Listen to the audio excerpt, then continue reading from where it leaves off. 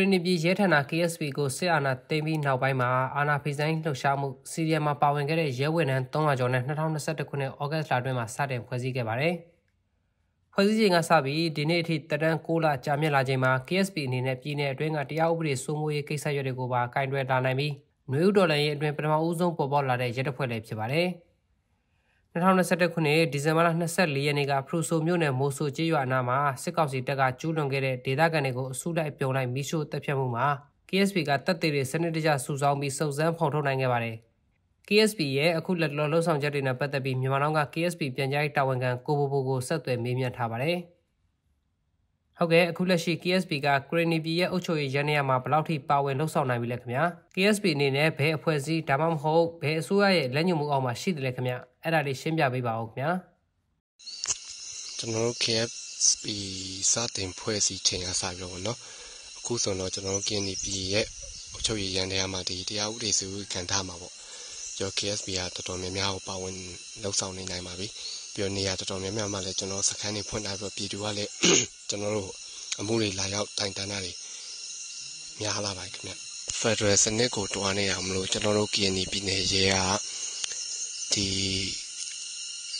KSCC ရဲ့အနီးကပ်ကြီးကျူအောင်ကြီးကြပ်မှုအောက်မှာရှိတယ်ပေါ့နော်ပြီးတော့ဒီ NAJ ရဲ့လက်အောက်က CDN Police Team နဲ့လည်းကျွန်တော်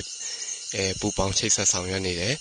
ဟုတ်ကဲ့ပါခင်ဗျာရဲလုပ်ငန်းစဉ်မှာအရေးကြီးတဲ့အပိုင်းတစ်ခုဖြစ်တဲ့တရားဥပဒေစိုးမိုးရေးနဲ့ပတ်သက်ပြီး KSP ကဘယ်လိုမျိုးဆောင်ရွက်နေပါလဲခင်ဗျာ တရားဥပဒေစိုးမိုးရေးနဲ့ပတ်သက်ပြီးတော့မှကျွန်တော်တို့များတော့အဖြစ်အဓိကအခုချိန်မှာလိုက်နာတော့ဒီ customary law ပေါ့နော်ဒီဒေတာတရားဥပဒေကိုအဓိကလိုက်နာတယ်ပြည်သူလူထုတွေတဲ့အလို့ဒီစီကံဖောက်ပြတာတို့ဥပဒေဖောက်ပြကျူးလွန်တာတို့မျိုးဆိုလို့ရှိရင်ကျွန်တော်တို့ကဒီ customary law နဲ့ပဲအများတော့အဖြစ်အရေးယူတာများတယ်ခင်ဗျအခုမြင်တွေ့ရတဲ့တော့ဗောနော်မိုးရေစေဝါတွေဖမ်းဆီးရမိတာမျိုးတွေလည်းရှိတယ်ဆိုတော့ KSP ကမိုးရေစေဝါဖမ်းဆီးရမိတာတွေကိုဘယ်လိုကန်တယ်နေပါလဲခင်ဗျာ မိုးရေစေဝါနဲ့ပတ်သက်ပြီးတော့မှ KNDF ကလည်းကျွန်တော်တို့ KSP တန်လာအပ်တာတွေရှိလို့အဲဒီ KNDF မှမဟုတ်ဘူးเนาะတခြားဖွဲ့လည်းကျွန်တော်စီလာအပ်ပါတယ်အဲနဲ့ပတ်သက်ပြီးတော့မှဒီဖမ်းဆီးရမိတဲ့မွေးစေဝါပုံမူတည်ပြီးတော့မှကျွန်တော်ပြက်တံအဲအနေများဟိုကျွန်တော်တတ်မှတ်ထားတာရှိတယ်ပေါ့နော်အရင်စစ်ကောင်စီလက်ထက်တုန်းကလို့တော့ဒီတပြားတပြားမိရနဲ့9နှစ်6နှစ်လောက်ချတာမျိုးတော့မဟုတ်ဘူးပေါ့ဟုတ်ကဲ့ပါအရင်တော့ကပြောထားတာတွေလည်းရှိတယ်ပေါ့နော်ပြည်သူလူထုကိုဝန်ဆောင်မှုပေးမယ်ဆိုတာ အဲ့ဒါအခုဘယ်လိုဝန်ဆောင်မှုတွေလုပ်နေပြီလဲခင်ဗျကျွန်တော်တို့ KSP ကဒီကင်းဒီပြည်သူလူထုကိုဝန်ဆောင်မှုပေးတဲ့နေရာမှာ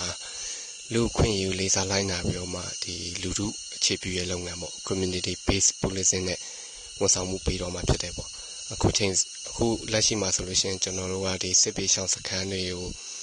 လိုက်ကူညီပေးတာမျိုးပြီးမှကျွန်တော်စခန်းတွေမှာဒီရဲဘော်တွေကိုအဲ စေဝါကျွမ်းကျင်တင်တန်းတက်ခထားခိုင်းပြီးတော့မှသူတို့ဒီအခြေခံစေပေးခန်းလေးဖွင့်စေးတဲ့လူခံပြီးတော့စေပေးခန်းလေးဖွင့်ပြီးတော့မှပြည်သူလူထုကိုကူညီတာမျိုးပေါ့ရွရွအတွင်းမှာဒီစီကံမလိုက်နာတဲ့တရားဥပဒေမလိုက်နာတဲ့ဒီကျေးရွာစီကံတွေကိုမလိုက်နာတဲ့ပြည်သူလူထုတွေရှိလာလို့ရှင်လဲကျွန်တော်ကရက်ကွက်အဲကျေးရွာဥက္ခရာတဲ့ဘေးပိုင်းနဲ့ပေါင်းပြည်လူတွေနဲ့ပူပေါင်းပြီးတော့မှဒီစီကံလိုက်နာဖို့အတွက်ကျွန်တော်တို့ဒီ တရားဥပဒေစိုးမိုးရေးဆောင်ရွက်တဲ့ပုံစံမျိုးပေါ့ဟုတ်ဒီလိုပြည်သူလူထုတွေစီကံမလိုက်နာတဲ့အဲလူတွေကိုအပြစ်ပေးပြီးဆိုရင်လည်းကျွန်တော်တို့ကထောင်ချတာမျိုးပဲတန်းလောက်တာမဟုတ်ဘဲနဲ့ဒီသူရဲ့အပြစ်ပေါ်မူတည်ပြီးတော့မှဒီလူမှုရေးပြစ်ဒဏ်ပုံစံမျိုးချတာပေါ့ပြီးတော့မှတတိပေးတာပုံစံမျိုးနဲ့ကျွန်တော်စတယ်ပြီးနောက်ကျမှသူတို့အပြစ်နဲ့နဲ့ကြည်ပြီးဆိုမှဒီအချုပ်ထိမ့်သိမ်းတဲ့ပုံစံမျိုးပေါ့နော်အချုပ်ကဏ္ဍမှာထိမ့်သိမ်းတဲ့ပုံစံမျိုးလုပ်တယ် အဲ့လိုထိမ့်သိမ်းမယ်ဆိုရင်လည်းကျွန်တော်တို့ကအထက်မှာသူတို့လွတ်လပ်စွာကိုယ်ကွယ်ပိုင်ခွင့်ပေးထားတယ်မိသားစုတွေနဲ့အဲဖုန်းပြောပိုင်ခွင့်ပြီးမှသူတို့ရဲ့ရတင်ရတိုက်တဲ့လူခွင့်ရင်းနဲ့ညီအဲ့လိုမျိုးပေါ့ကျွန်တော်တို့အကုန်ထားပေးရပေါ့ကျမကြီးစောင့်ရှောက်မှုလည်းကျွန်တော်ပေးရပေါ့ KSP အနေနဲ့ရန်အင်အားဘယ်လောက်ထိရှိနေပြီလဲခင်ဗျာစတင်ဖွဲ့စည်းတဲ့အချိန်ကထက်အရေးအတွက်ဘယ်လောက်ထိတိုးလာပါလဲခင်ဗျာကျွန်တော် KSP ကတော့အခုလုံးလုံးစိတ်မှာဒီကျမအပေါင်းဒီ250ကျော်ပေါ့အလောင်းနဲ့ လေပတ်နေတာဖြစ်တယ်ပေါ့နော်ပြီးမှစကန်တော်တော်များများလဲနေရတော်တော်များများမှာကျွန်တော်လွှမ်းမှုပြီးမှဒီတရားဥပဒေစုံမွေးလှုပ်ဆောင်နေရတယ်ခင်ဗျကျွန်တော်စကန်တွေကအခုဒီ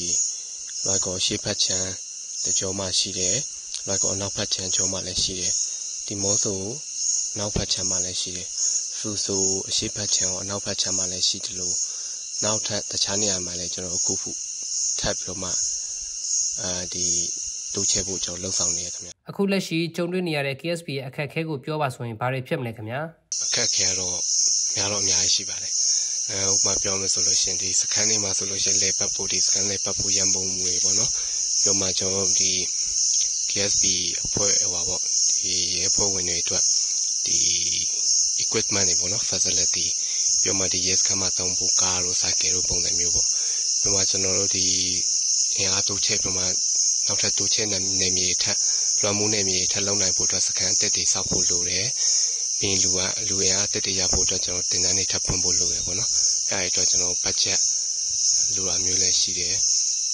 ပြီးတော့မှဒီအမှုတွေစစ်ဆေးတဲ့အခါမှာလည်း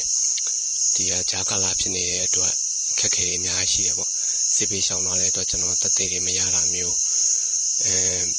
ပြီးရင်ဒီတို့က ဒီကျွန်တော်လမ်းမုန်းနေမြေမဟုတ်ဘဲနဲ့ထွက်ပြေးသွားတာမျိုးပေါ့အဲ့လိုမျိုးချလို့ရှင်တော့ကျွန်တော်အခက်အခဲရှိတယ်ဟုတ်ကဲ့ပါလာမယ့်ကာလတွေအတွက် KSP အနေနဲ့ဘယ်လိုရည်ရွယ်ချက်မျိုးတွေရှိပါလဲခင်ဗျစစ်ကောင်စီမှမဟုတ်ဘဲနဲ့ဒီအခြားမိတူမိဒီဖွဲ့စည်းမဆိုဒီလူခွင့်ချိုးဖောက်မှုဆက်ရသဘောမှုနဲ့အခြားရသဘောမှုများကို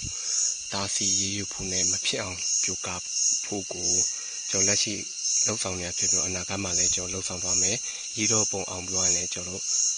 ဆက်လက်လှုပ်ဆောင်သွားမှာဖြစ်ပါတယ်ပြီးတော့မှဒီကျွန်တော်တို့ဒီအာနာရှင်စန့်ကျင်နေတဲ့ကျွန်တော်တို့ဒီကင်းနီပီရဲကလူတို့အခြေပြုရဲလုပ်ငန်းအနှစ်နာအတိုင်းလူတို့နဲ့ပူးပေါင်းဆောင်ရွက်သွားမှာဖြစ်တယ်ပြီးတော့မှ KNP ရဲကဒီအနာဂတ်မှာစစ်တပ်အောက်ခရဲမဟုတ်ဘဲနဲ့ဒီမိုကရက်တစ်ရဲပြီးရင်ဒီ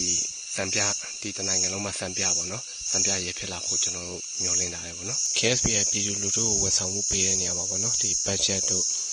ဒီ facility တို့ကလည်းအရေးပါတာမို့လို့ကျွန်တော်တို့လူထုပြည်သူလူထုကိုပုံမထိထိရောက်ရောက်ဒီဝန်ဆောင်မှုပေးနိုင်ဖို့အတွက်ပြည်သူလူထုကလည်းကျွန်တော်တို့ဝန်ဖေးမှာကူညီပေးကြပါဟုတ်ကဲ့အခုလိုဖြေချပေးတဲ့အတွက်မြန်မာနောက်ကကျေးဇူးတင်ပါတယ်ခင်ဗျာ